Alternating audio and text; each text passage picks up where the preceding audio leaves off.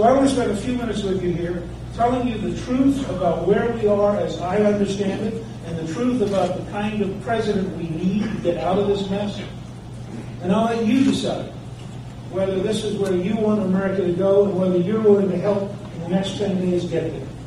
This primary is the crossroads for this country. We have to nominate someone capable of standing up and telling the truth against Barack Obama because you're not going to be a billion dollar machine of dishonesty with somebody who's inarticulate or confused or doesn't quite know what they stand for.